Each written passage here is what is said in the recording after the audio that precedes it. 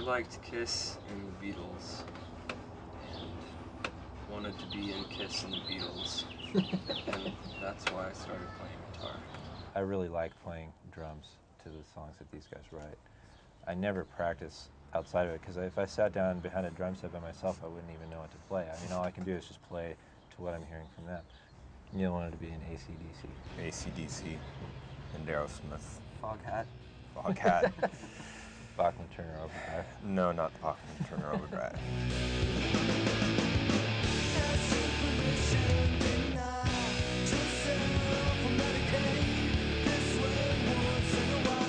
One of the things I think is most interesting about Heatmiser is they've got um, kind of an in-house producer in Tony Lash, who's their drummer.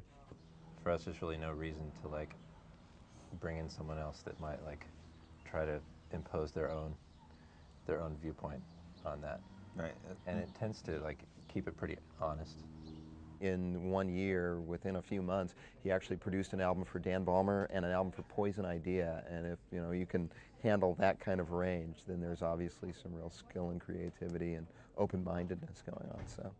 There's always people out there that are that will respond to honesty in something. And if we're doing something that we feel good about and it's what you know, we haven't compromised anything and it's what we intend emotionally, that there's going to be people that are going to respond to that.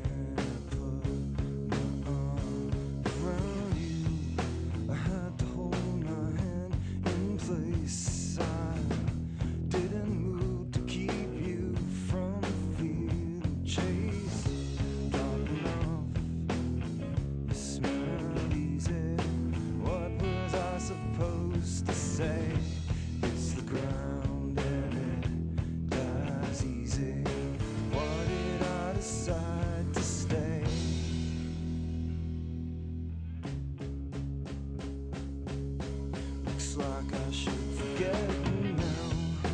Underneath the covers, I'm not naked. Maybe you were never next to me. There's all recorded history. Start tomorrow morning. Did you forget? Or were your kisses my final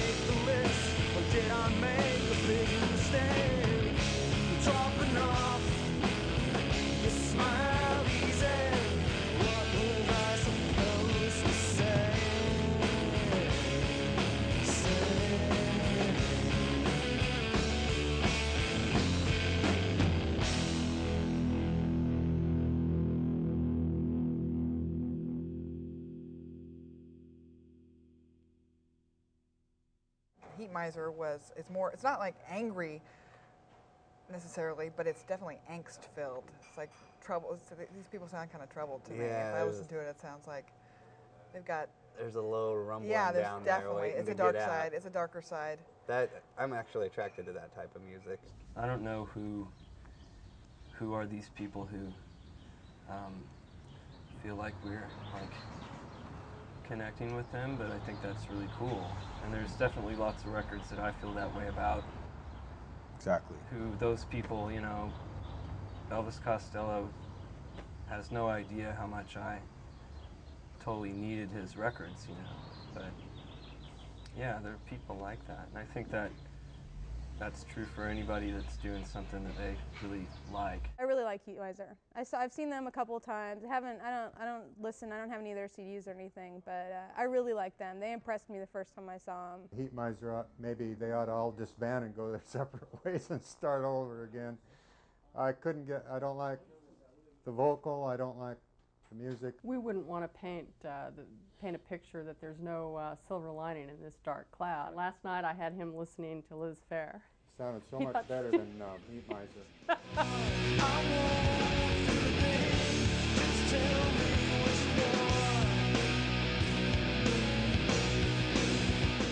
I'm always surprised to find out that any of the stuff gets played anyway. you know. I've gotten two checks from BMI.